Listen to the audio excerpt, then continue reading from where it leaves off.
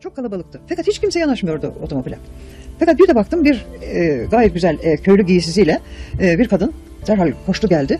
Hocam dedi size ayran hazırladık. E, iner misiniz? Atatürk dedi ki yolumuz uzun dedi. Her yerde inemiyoruz dedi. Fakat konuşalım dedi. Bana da dedi ki kimmiş bakalım sor. Ama kadın gayet cesurane konuşuyor. Gayet güzel e, de giyimli dediğim gibi köy giyimli giysisi içinde. Dedim nedir? Ben dedi Kazan köyünün muhtarıyım dedi. Yeni seçildim dedi. Ve onun için dedi işte e, buraya da geldik dedi karşılamaya dedi. Ve gayet güzel köyü hakkında da e, bilgiler verdi. Atatürk ilgilendi. Ve ardından otomobil hareket edince yanında Nuri Conker vardı. Çok iyi arkadaşı ve e, milletvekili. E, bak dedi işte dedim milletvekili olacak kadın dedi. Bunu dedi milletvekili yapacağız dedi. Ben dedim ki 34 daha çıkmamıştı. Yaz aylarıydı bu. Daha kanun çıkmadı. Çıkacaktır o ve bu milletvekili olacaktır dedi. Ve onun üzerine işte Nuri Conker biraz alaylı konuştu. Ya dedi demek dedi bize dedi böyle arkadaşlar getireceksiniz. Daha çoğunu getireceğim dedi. Göreceksiniz dedi. Ya hakikaten 35 seçimlerinde Satı Kadın'la beraber 18 Evet. kadınımız e, milletvekili oldu. Satı kadın böylece e,